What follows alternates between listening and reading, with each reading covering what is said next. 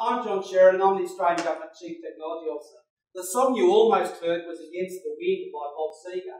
But actually, afterwards, I thought a much better song by Bob Seger, who predates many of you I know, would have been Feel the Wind. Sorry, would have been In Your Time. And the, the thing I like about this song, In Your Time, is it has a particular line about feeling the wind and steering, setting yourself the bolder course. To my mind, this is the message of innovation if you're doing it properly. It's not being afraid to test how things are in the circumstances in which you find yourself, test the environment, and then use that environment to your best to your best ability to make the sorts of changes that innovation allows allows us to make. And it's creating that environment that I want to speak about today. Now, I'm talking about the Cretaceous period. And I'll explain why I'm talking about the Cretaceous period in a moment. It's not the Crustaceous period, that's at morning tea. Um, the, the Cretaceous period was the last of the dinosaurs, the last time of the dinosaurs. But more of that in a moment. You'll see I'll also focus in the presentation on a series of shots of Lego and particularly Lego minifigs. Why am I doing that? Well, firstly, I like them. I think they're very amusing and they cheer me up all the time. But secondly, they remind me of childhood. And I think it's interesting just to reflect on how innovative children are. When you think, of, think about it, children aren't worried about the pressures that we see in work generally. They haven't had it through education, the innovation knocked out of them. They're prepared to try new things to experiment with new ideas. And Lego reminds me of children in that regard. What I'd like you to think about is how we go about bringing back in our daily work some of that innovation that we see in childhood. What is it that we need to do to reverse some of those trends, to get that innovation happening again? Because we all had it in us at one stage. Now, the Cretaceous period, as I said, was the last period of the dinosaurs. There were three major periods of dinosaurs. The Cretaceous was, was the last in that time. The average temperature through the Cretaceous period was about 37 degrees. It was a hot, a humid climate, and it encouraged growth both in flora and in fauna. It was the time of big things, big dinosaurs, big animals, big trees, all those big things. And we're, I think, in a similar period in the public service at the moment. We find ourselves in a situation where we've got all these wicked problems that face us. And we're looking for big solutions to fix those wicked problems. We're talking about multi-million dollar projects, huge amounts of work, lots of resources going into things.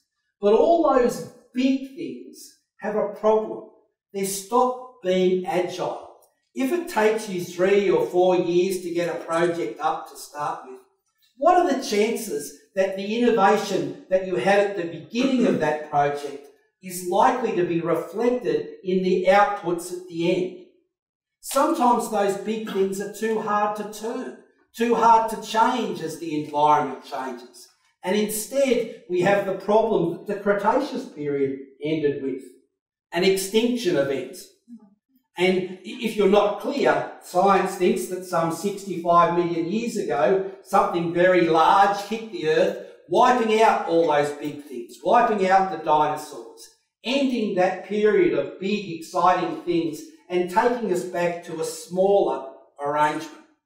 Now, my thesis today is that if we start with the idea in mind of having good ideas, looking for innovation, but instead of going for those big, long projects, that we put in place something that's smaller, that's incremental, that looks at continuous improvement, that that in itself will help us avoid the extinction events that challenge us at the moment, avoid the sorts of crashes that we see in large projects, and instead allow us to build and build and build on innovation across our organisations and develop a much better, a much more sustainable environment.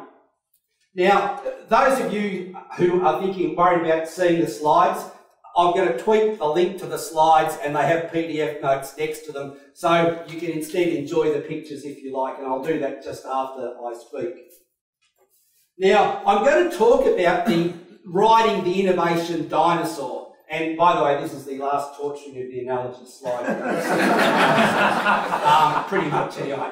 Um, and, and, I used the, the, the um, mnemonic raptor um, why did I use that? Because all those other dinosaur names are really, really long and I couldn't fit them on the slides. So instead I'm going to talk about the things that you can see on the slide here. I'm hoping you can all see on the slide here as we go through and discuss what one can do to create an environment for innovation in the organisation. Now the first thing is to secure resources to do innovation.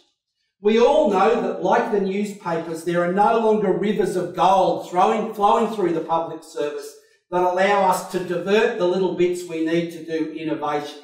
That isn't the case, and I don't know that that's such a bad thing because innovation in funding, as long as you don't go down the mafia route, innovation in funding is a useful thing for us to be practicing as well.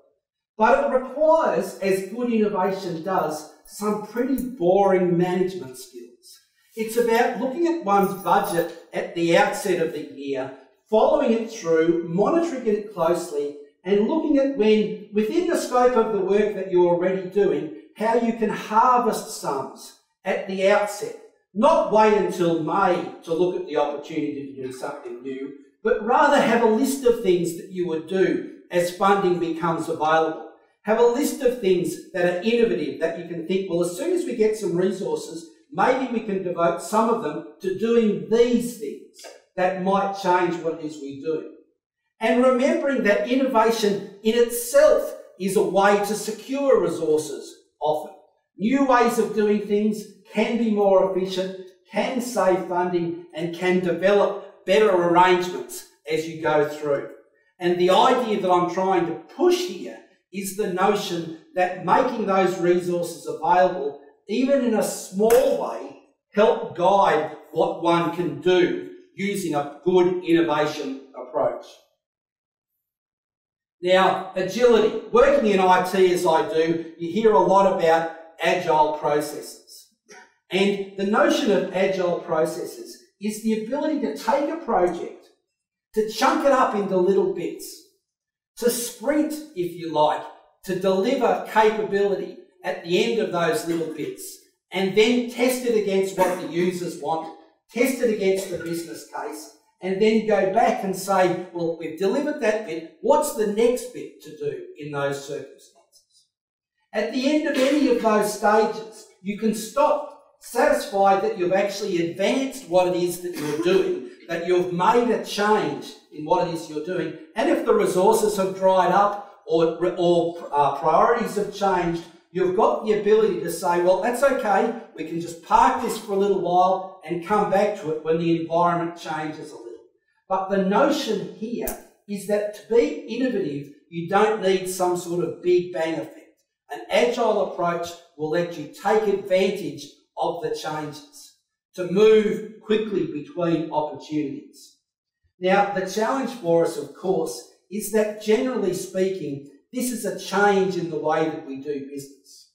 I'm not suggesting that you, as I've seen sometimes talked about, that you throw away your project plans and you sort of conduct your activities on a daily basis without any regard to the longer term or anything else like that. That's not agile, that's just reckless.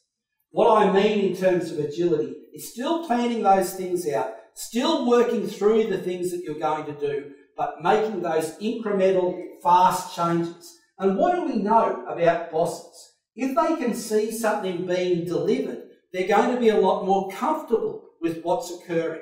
They're going to be a lot more satisfied that your innovation is actually bearing fruit.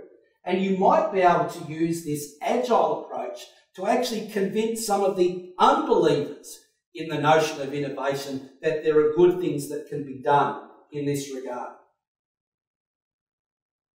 Now, giving people permission to innovate is also something of a challenge. And I think there are a range of ways that we can do this. Some of them require different structures or different ways of conducting work in the public service. But simple things, some of them, that all of us as leaders can do. The first of these is to describe to your staff what you want in terms of outcomes and to provide them the resources that they need to do that. Not to tell them how to do it, but rather what it is that you want to achieve.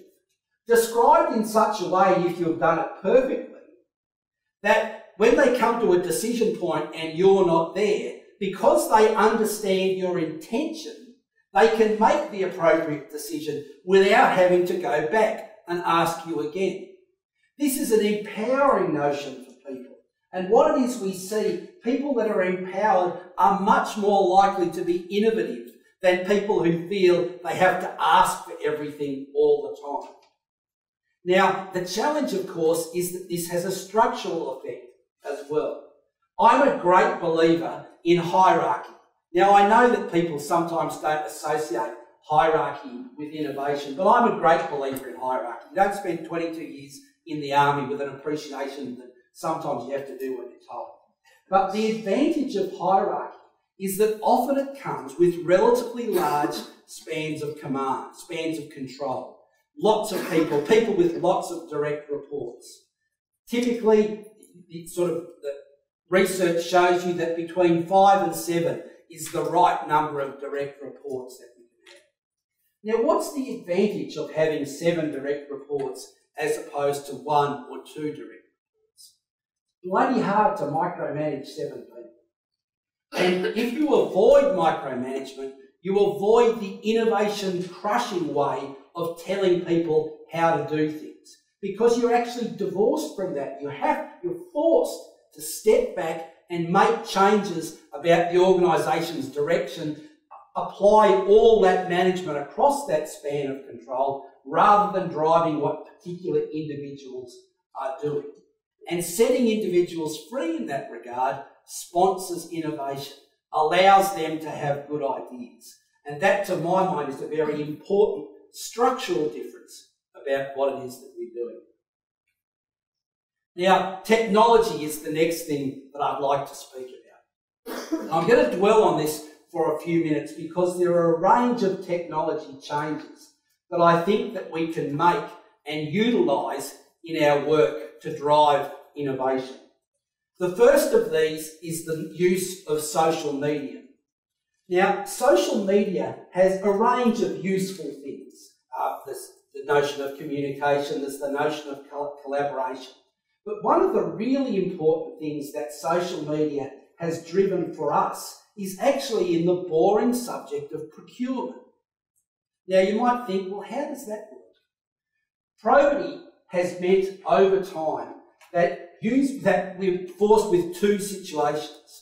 We're either tell everybody everything or nobody anything. And until social media, there really wasn't an opportunity to tell everybody everything. And as a consequence, I've gotten up at industry briefs. Um, all these industry people have come for a procurement, and the first thing I've been required to say by probity is nothing I'm going to tell you today has any impact on anything you're doing. If it's not written down in the paperwork we've distributed to you, it doesn't exist. And you think, well, why would we do those sorts of things? What social media has allowed us to do is through blogs and like mechanisms is to publish what we're doing so anyone can read it. And then use that ability through crowdsourcing to collect information from people at very early stages. One of our little innovations has been to put draft statements of requirement or draft policies out on our blog and encourage industry, stakeholders generally, to communicate with us about what they see as the issues in those things. and we've discovered some interesting changes. We've discovered the sorts of things that really worry government procurers. By going out and using this innovation, we've made sure that we're not in the position of buying things that aren't for sale or trying to buy things that aren't for sale. Because we go out to the market and we say, well, we're thinking about this, and they say, well, no one sells it like that, we sell it like this. If you try and buy it that way, we'll sell it to you, but the cost will be driven up. And going out and crowdsourcing those ideas really changes what it is that you can do. Now, the notion of crowdsourcing, of course, doesn't have to apply just to the sense of procurement. The notion that you can use crowdsourcing to attack, to get hold of the good ideas that might be amongst your staff, for example, or amongst your stakeholders in a policy sense. That also provides a broader field, if you like. It widens the opportunity to get new ideas. Now, one of the things about ideas is not all of them come to fruition, not all of them lead to innovation. But unless you've got a means of getting those new ideas, of harnessing the imagination of the people who work for you or the people that you're trying to serve, you don't have an opportunity to be, opportunity to be as innovative, innovative as you should be. And social media has really helped in that regard. The next thing is about mobility. It's not just using mobile phones to give presentations, um, but rather the notion that mobility provides people with an opportunity to work in different environments and in different places and at different times.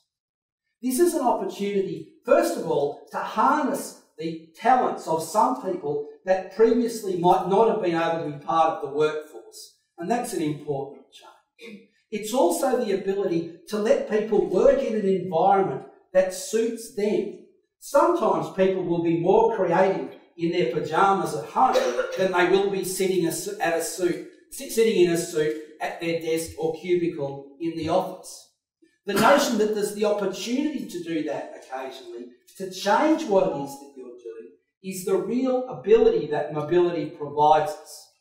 It's the notion of having the, the, the opportunity to capture an idea wherever you are, to record that, to get it down, to take a picture of something that's new and different, and feed that into the mix in a way that we couldn't do before. I know it sounds, you know, relatively simple, and you think, well, of course people do that. But it's interesting, this change in mobility and what it's meant for the work and the generation of ideas. And I think it's a really important change for innovation. The next that I want to dwell on for a moment is the application environment, the app environment. One of the interesting things we've seen in the use of iPhones or Android devices those smartphones or related mobile devices, is the notion that we fill them with applications.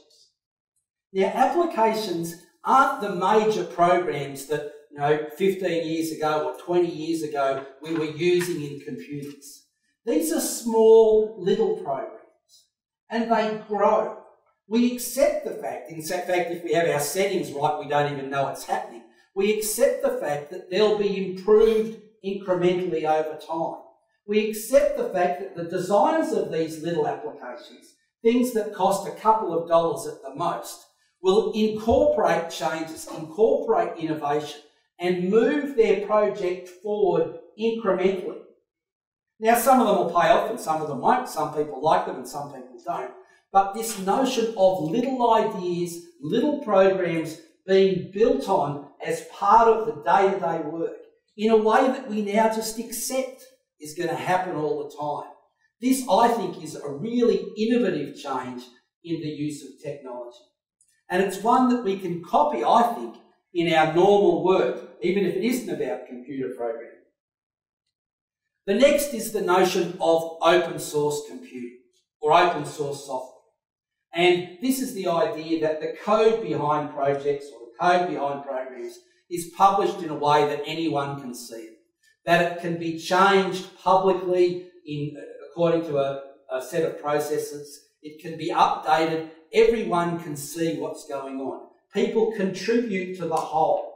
And this is, I think, a number of lessons for us in the concept of innovation. Firstly, again, it's the notion that all of us can, can contribute in our own way to improving the work. It's not siloed necessarily. There's the opportunity for us to see what's going on. Even if we only put our foot in the pool just a little bit or look at it occasionally, we can see what the changes are. We can understand what other people are doing. We can be inspired by those changes. But secondly, the other thing that open source provides is cheaper computing. The notion that these programs are actually free, generally speaking. That we can get that intellectual property by contributing, not paying for it, means that the work we can do in open source is very different from the work that we can do with monolithic big programs. And I think this also allows us to drive change in new and exciting ways.